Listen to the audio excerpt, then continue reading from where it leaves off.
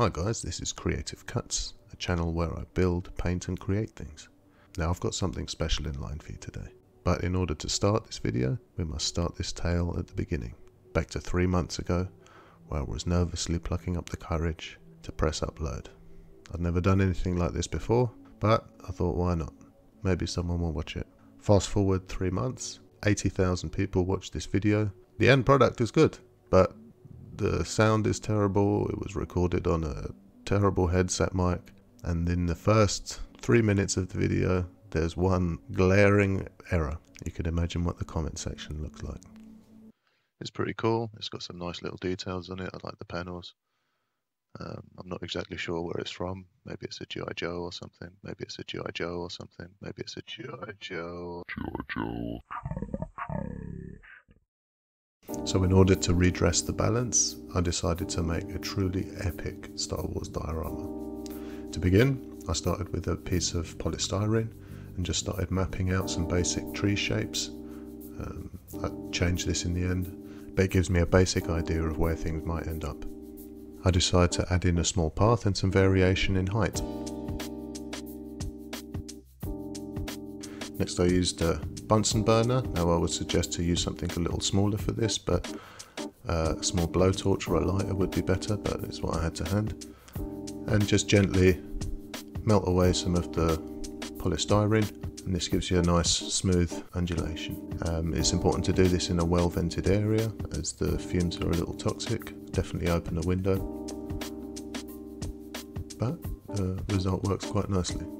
Then I come in with some PVA and just some offcuts of polystyrene and start to raise the height of the base. I'm not worrying too much about exact shapes here, just beginning to get a sense and then I come in with my hot wire cutter to just take off some of the edges. Again, not worrying about detail at this stage, just getting basic shapes.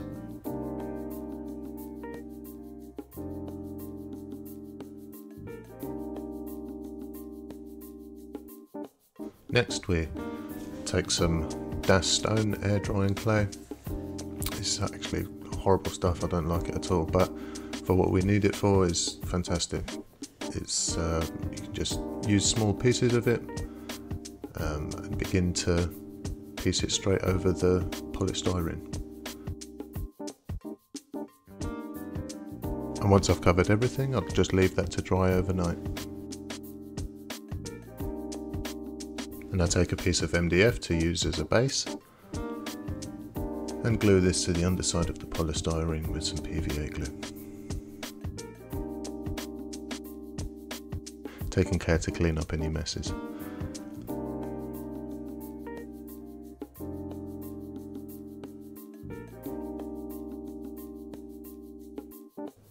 Next, I'll take some white gesso primer and give everything a good solid prime.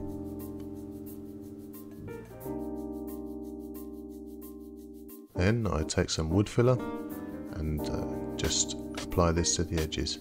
Again, you don't need to be too neat, you can always sand this back and apply it in several coats, get a nice smooth finish.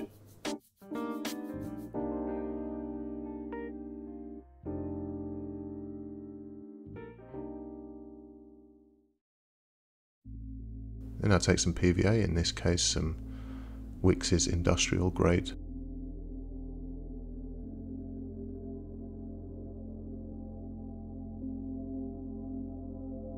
take some wonderful dried garden soil of a very fine variety. This just increases the texture and adds some small particles within the mix and I take some structure gel that I had lying around. This is just an acrylic base but um, similar to what you might find in a heavy body acrylic. And begin to add some paints, some raw sienna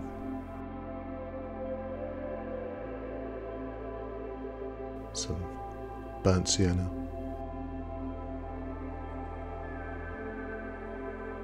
And just a little black.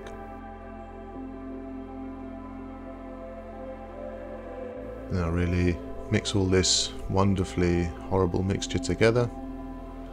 I felt it was a little brown at this stage so I add a little green. Now the paints that I'm using are golden liquid acrylics, they're highly pigmented great for working, you don't need a lot of paint, colour goes a long way. And then I begin to paint all this over the whole base of the diorama. I leave this to dry overnight and then give the edges a good sand in the morning. Next I've got some old roots from one of my many foraging trips. It's always good to collect bits and pieces. And I've got some sawdust and some small stones and some slightly larger stones. We're going to make a really nice concoction out of this. So then I'll just take a, uh, some hot glue, stick this onto the base of the diorama, and I wanted to try and create one of those overset tree roots with a nice hollow underneath. Then I'll combine all the little ingredients and then mix this all together.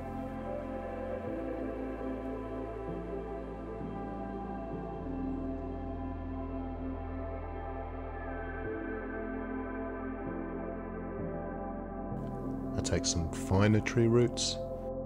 These are fantastic and I keep a good stash of these for all manner of applications. And just carefully take my time, put these on one by one and slowly build up what could be some ancient tree structures.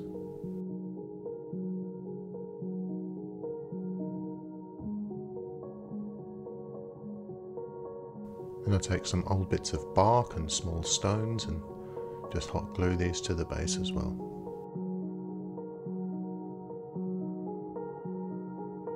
Then I take some of that mixture that I made up and begin to apply this all over the roots and the trees and the stones around the bases so it all blends into one.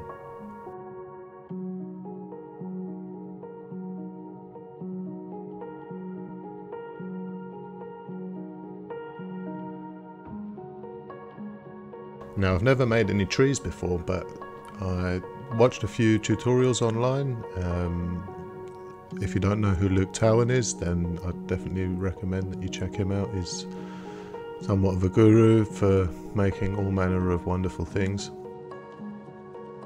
So I loosely followed most of his ideas, but uh, in practice I also found some things that, you know, would work more specifically to the job that I'm trying to do.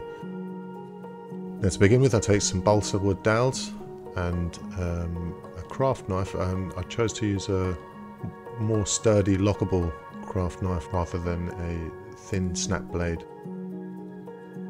Use whatever you're comfortable with, but in this case I wanted a nice solid blade as to which to work off. And then I begin whittling down some tree trunks. Working with balsa wood in this case is really easy as it carves so easily. And just take your time, be patient.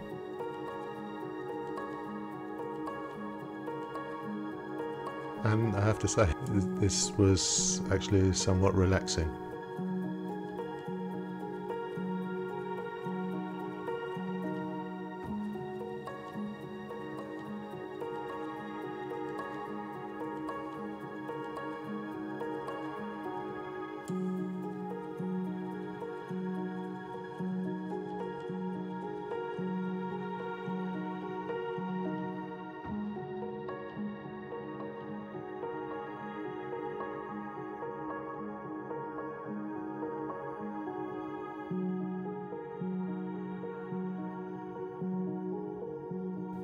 Also can work to make a nice Harry Potter wand if you would like. Next I take a power drill with a fine bit and begin to drill some diagonal holes in the trunk. I do these at a slight upward angle um, and then I'll insert some wires into these. Now this takes a little while but just as with anything, every hole is one less hole to drill.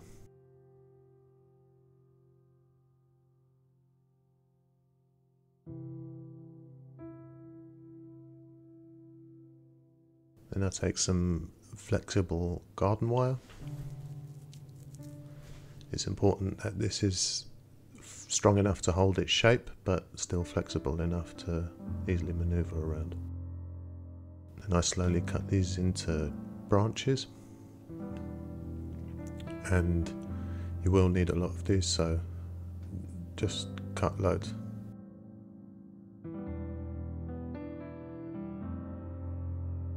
Then just with a little dot of super glue, I dip the end of each branch in and carefully insert it into the pre-drilled hole. Now again this is quite a laborious process but it kind of goes quicker than you expect it to really.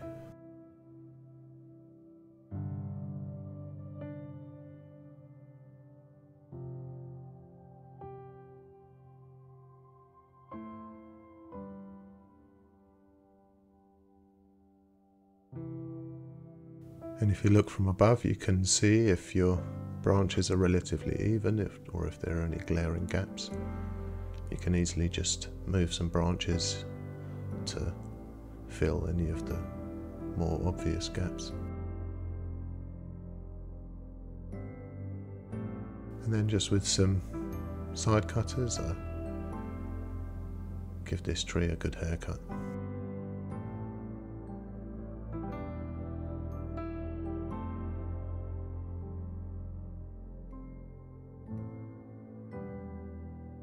Slowly it begins to take on the shape of a believable pine tree.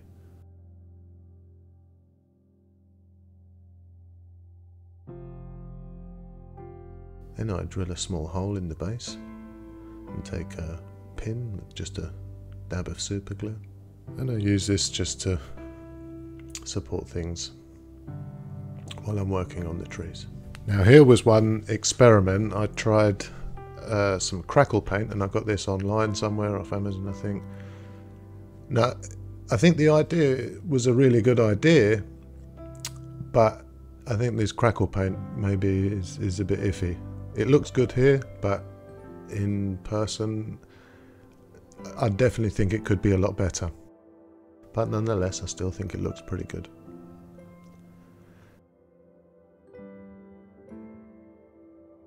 Then I take my airbrush and come in with some brown and some black and just begin to build up some tones and various colours on the tree trunks.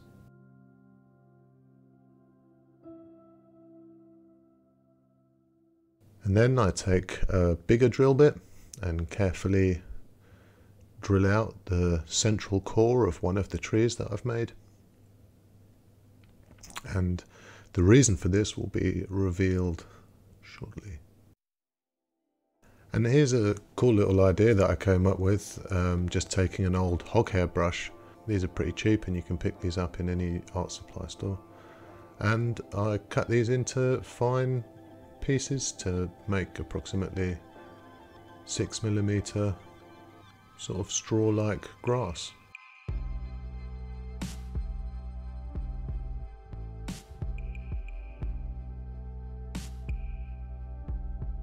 And then with some spray adhesive taking care not to get too much glue on the trunk coat the branches and then slowly sprinkle some of my homemade straw texture onto the branches. And this takes a while at first but be patient build up subsequent layers and slowly more and more begins to stick to each other and it looks looks great I'll be honest. I was really surprised at how how, how good this looked.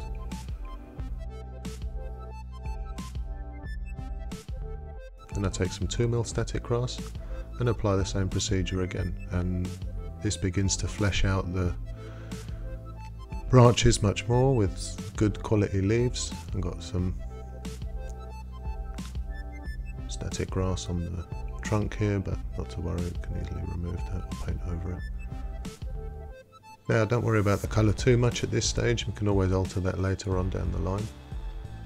Then I take some 1mm static grass and just just give it a good sprinkle from above. Now this is really a balancing act, you know, between getting too much grass on and, and having the branches still look believable and sparse. Then with a quick airbrush, I darken the colour, give it a sort of richer green, and come in with some brown underneath to signify some dead pine needles. And then just give the tree trunk a good, nice easy dry brush. Just pick out some of that texture. And then carefully, with a pre-drilled hole and a dab of glue, I'll fix these onto the base. I did actually replace these with a sturdier nail as, as, I felt the trees were a little bit flimsy and just wanted a little bit more support but again it just shows how versatile this way of working is. And then just with the same mixture that we had before just blend everything together make everything look nice. And here's a nice little tip that I adapted to my own needs. Um, this is just some hanging basket liner. You can pick this up from your local garden centre. Pretty cheap and you get loads of it. And is this wonderfully tangled reasonably coarse texture. But for me, I thought if I cut this into small pieces, it makes perfect little pine needles. So with a few of these chopped up, and our mixture still nice and wet, I just sprinkle some of these over where we might find some discarded pine needles.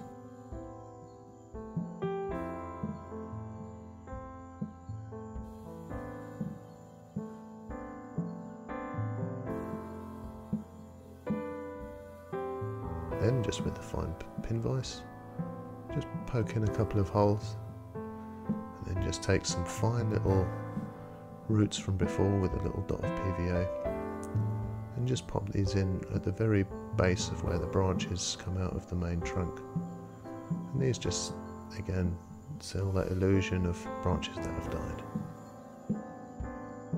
And then I begin adding some vegetation. Now these are some plastic uh, aquarium plants, I think, or from a topiary ball, I can't remember, and painted up. These look great. I had these left over from my ruined temple diorama build.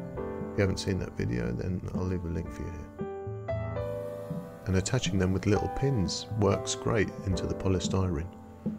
And you don't even really need glue, I'll be honest. And I'd made up a load of these little ferns cut up out of other plastic ferns and then painted up and then just pieced together with some hot glue. And I've just built these on the top of a pinhead. And then now this is a fantastic little discovery I made. This is a product called horsehair. Um, and I think it's just glued together with little bits of latex. Um, so I sprayed some of this brown and sprinkled on some of this foliage, some darker and some lighter shades and it makes this fantastic little bramble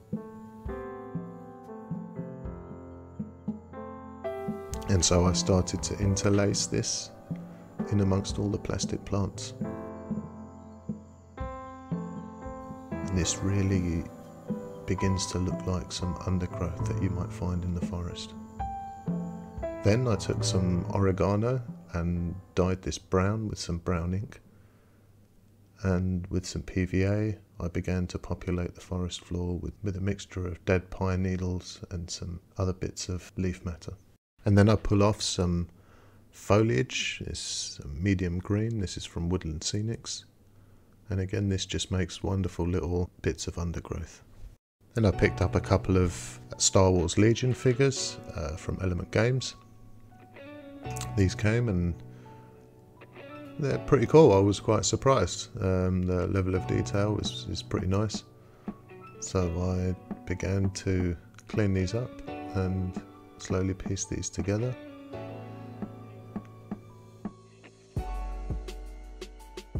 Now the scene that I was trying to recreate, um, the famous speeder scene from the Battle of Endor, Luke Skywalker's wearing a slightly different outfit.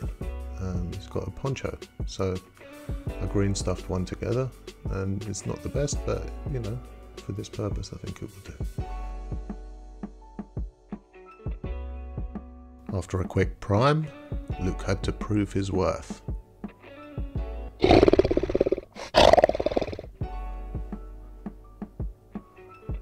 and also cut off the head of one of the stormtroopers and reposed him so he was in a bit more of an agile position.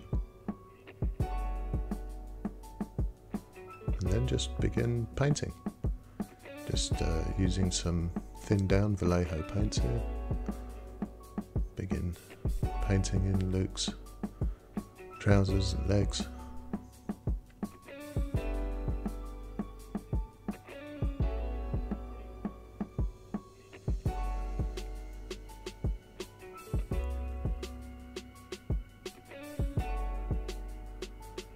And I give the lightsaber a good undercoat of a nice heavy body white.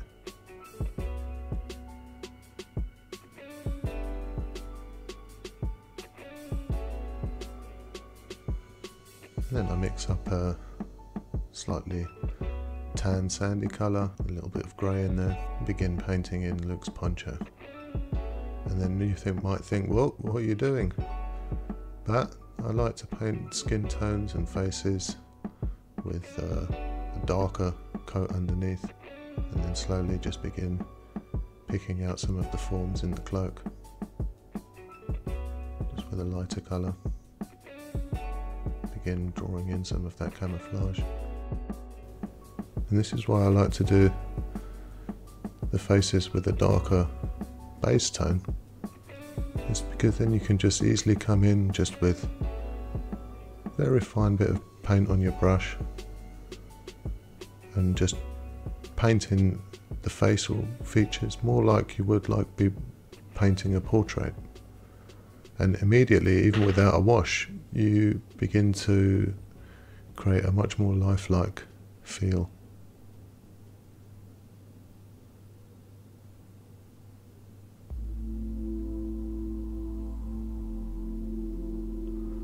then I just pick in some highlights. Again, thinking about where the light might strike the fabric of the cloth.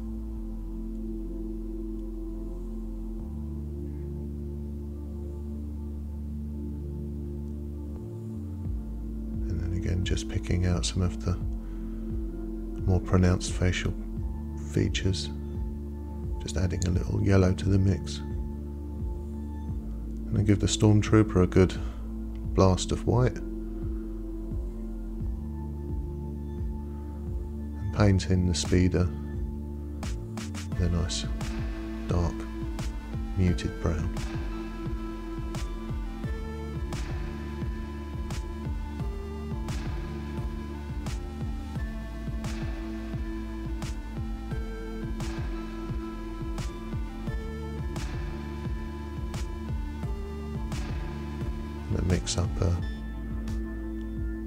Darker gunmetal type colour. Just a little bit of gunmetal and just a hint of black. And just paint this over all the metal surfaces. Then I come in with some more sandy colour.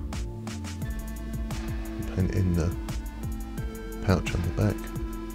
And here I wanted to recreate how, when Luke Skywalker cuts the speeder in half, how he hit, hits a tree. So I took out the Dremel and started piecing apart this land speeder.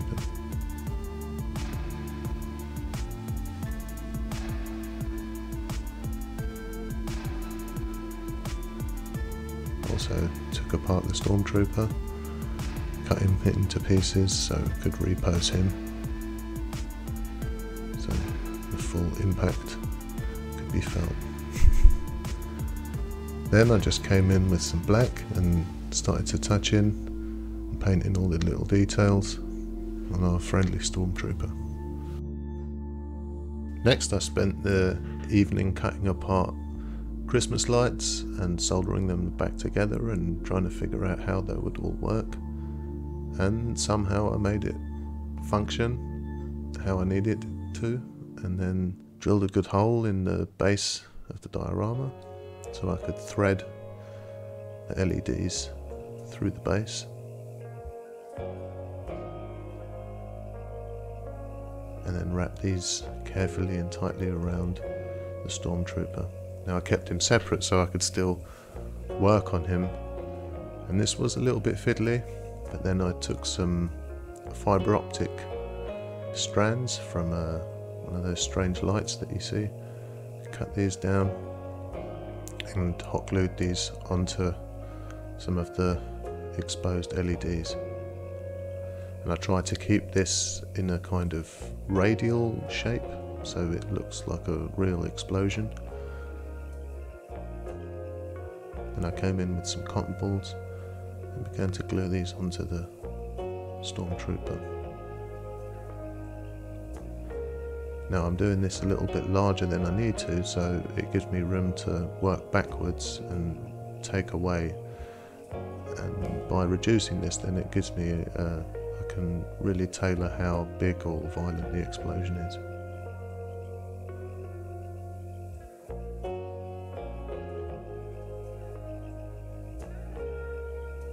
Just take your time with this.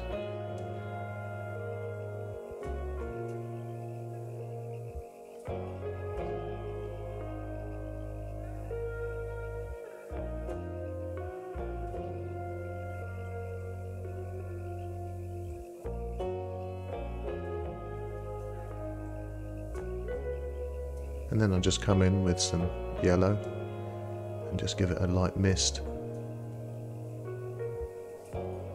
After this just come in with some orange slightly more towards the edges. And it's important when doing a, uh, any sort of bright source of light to it's only as bright as the dark colours around it. So then I came in with a, a transparent oxide. This is a deep red oxide and just by layering it on with the orange it really makes a darker color around in turn making the bright white central core seem much brighter and I further enhance this just by just licking the very edges just with a little bit of black.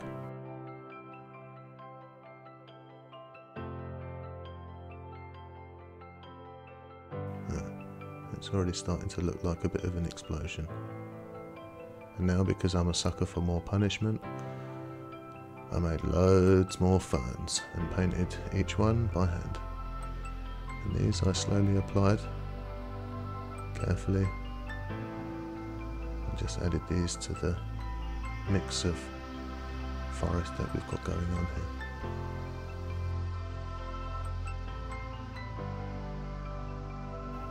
Then I preserved some moss actually. And this is a, uh, another experiment that I tried with some glycerine. Um, that, that'll be for a future video I think. And again just started to interlace these around the forest floor. After adding a few more little details and some finishing touches, that about wrapped it up. Now this project started with just a small idea, but as it continued, my ambition grew and grew and grew, and and it made me take on things that I'd never attempted before. Sure, there are things I would change, but all the little experiments have taught me so much. And I guess that's what's most important. And if you've liked what you've seen and maybe learned something, then of course feel free to subscribe. Hit the like button, it really supports the channel. And of course, get involved in the comments below. I always love hearing your feedback. Thank you for coming on this journey with me, and may the force be with you. You. Thank